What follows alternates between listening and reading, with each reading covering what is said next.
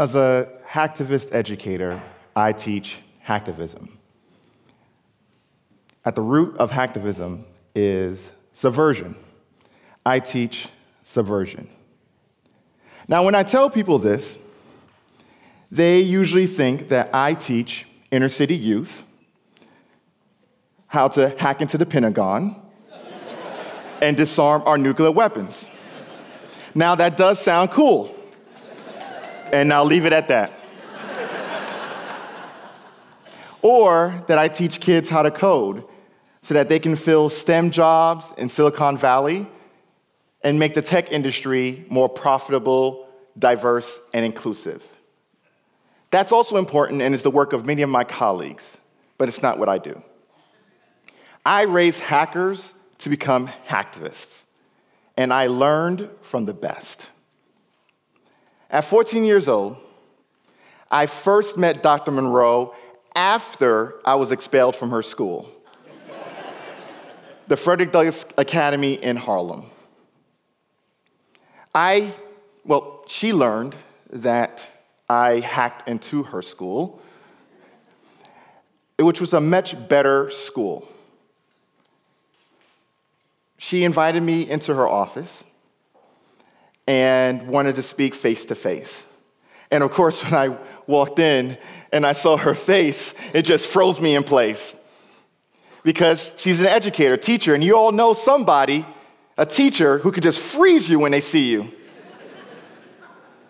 and I may have adapted that into my career. But Dr. Monroe wanted to know why, because she wanted to find out why is it that I hacked my behavior records and not my academic records?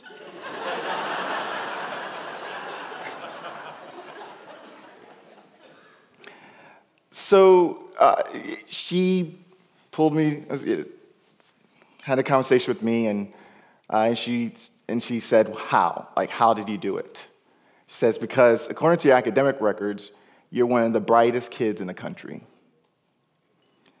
And so I leaned into Dr. Monroe and I said, Well, middle school records are really easy to hack into. No one looks at middle school. I mean, is it my fault? she wasn't having that. And so she asked why I did it. And because she cared to know, I decided to tell her what I'm sharing with you. That at eight years old, I read every book in my group home library. These were the books that were donated to us foster kids with no families, no home.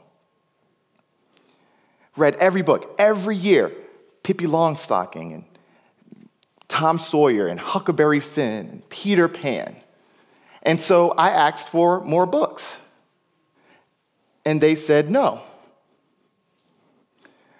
But something happens when you read Huckleberry Finn and Pippi Longstocking. I decided I'm going to take a page out of Oliver Twist and I'm going to ask for more in front of everyone.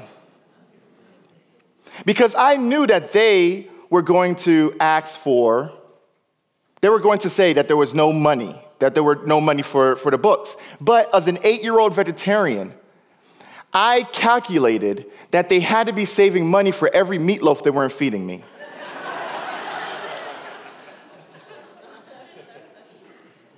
but time and again, every time I asked, they said no. They said no in front of everyone, and it kept going back to as a kid, there's nothing you can do.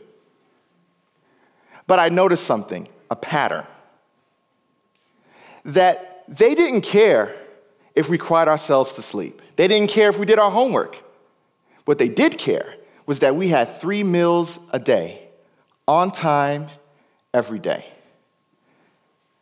And so at eight years old, for three to four days, I held a hunger strike. and I won.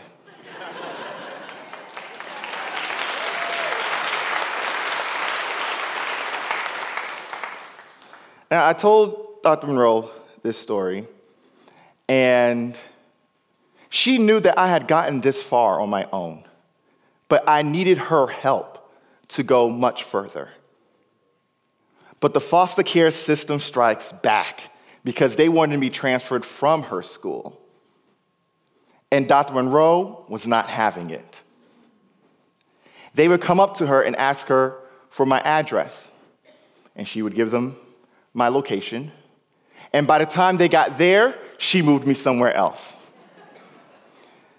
They would come back to her, asked for my address, and then Dr. Monroe said, Why are you bothering me? I'm a principal of hundreds of kids. How am I going to pay attention to just one kid? Okay, well, here you go. Here's his location. And by the time they got there, she moved me somewhere else. In 1994, Dr. Monroe created an underground railroad for my future. She passed away earlier this year leaving behind a legacy of transforming the lives of kids just like me, similar situations. Yeah. Dr. Monroe, I love you and thank you for believing in me. But why? Why would she jeopardize her career? Why would she break the law? Dr. Monroe believes, as most educators, good educators believe, that schools in America are not created equal. That we set up kids, especially low opportunity youth, to be sets of skills, and schools to be skills factories.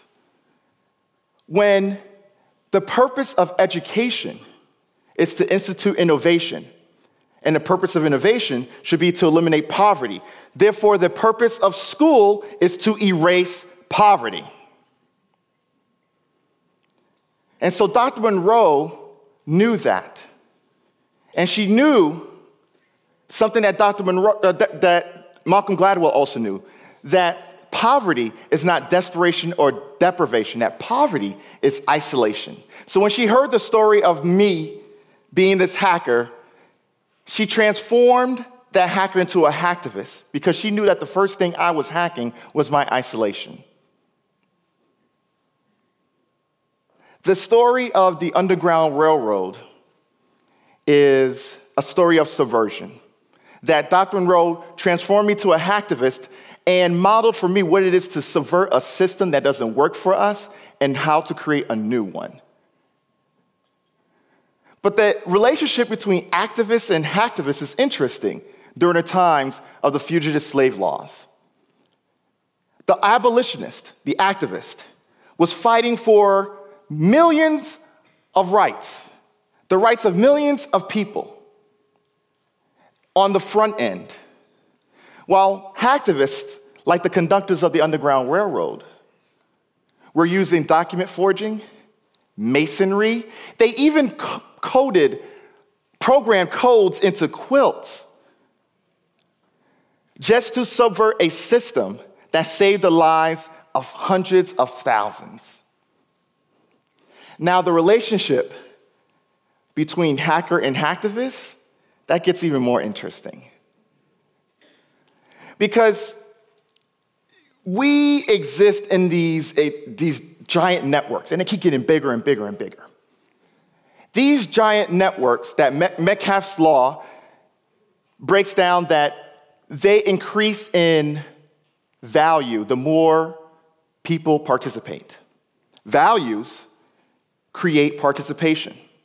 Participation creates value. The problem is, is that as these networks keep getting bigger and they drive our economy and our democracy, there are vulnerabilities. And these vulnerabilities are loopholes and exploits. Now, loopholes are static and legal they they're taken advantage of by the elite, by those who have the knowledge of those loopholes. They're not important right now. I want to talk about exploits. Because although loopholes are creating an imbalance in our systems, exploits are interesting because they, there aren't any laws for exploits, or they uh, eventually become illegal. Hackers and hacktivists use exploits we use them differently. But the question is why do these vulnerabilities exist? And that's because we don't update. We don't update when we want to, we, we, we don't update when we have to. We update only when we are forced to. I mean, think about your phones, your computers, think about your wardrobes. that we think that what worked before is always going to work again, even if for 20 to 100 years it hasn't worked. The problem is, is that some of these hackers have escalated their behavior. Imagine those who were shouting, they would not replace us in Charlottesville, all learn to code. And they are. Because hackers, typical hackers, we learn how to use exploits to take, to tamper, and to troll. But now it's escalating to terrorize. Have you noticed the number of conspiracy videos that are popping up on YouTube? And that's because they are grooming the next generation of alt right hackers as young as 11 years old. Now, hacktivists are different. Hacktivists, we use technology to heal the world. And you're a hacktivist. Every time you throw up a cell phone to record discrimination, to capture something that's not right, you are doing more than sometimes the system does for us. And I have a message. I have a message for the alt right hackers because, as a black man talking about hacking, as soon as this video comes up, they will definitely try to hack me. But this message comes from Dr. Monroe.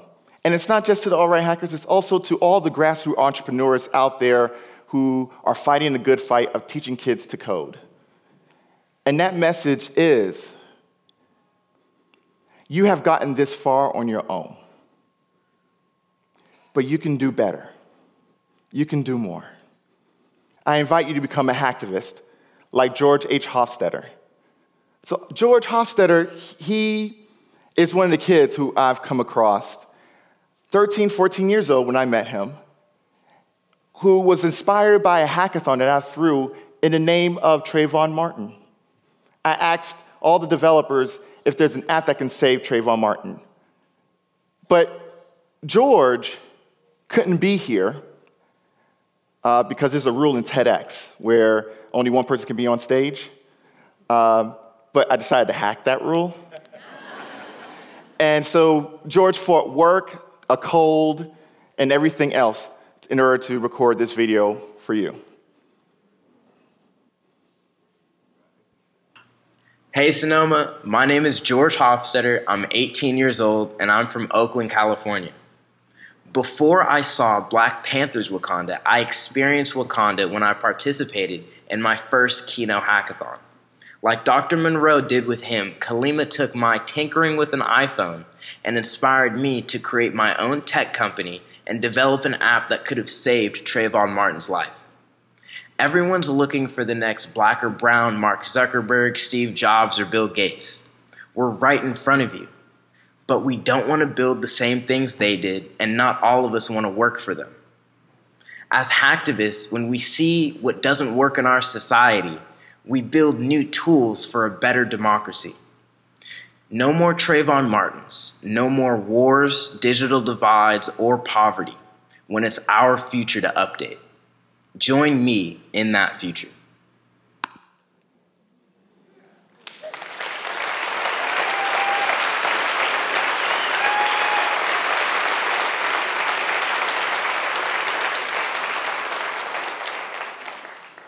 Dr. Monroe updated me, I've updated George. Let's all update each other. And I share this message on behalf of the hacktivist community. To get things done, the hacktivist rides on the shoulder of giants that came before them, connecting with the past and propelling us all into the future. They are often in the emotional heat of the present and must consider the ethics of each situation and proceed for the greater good. Thank you and hack on.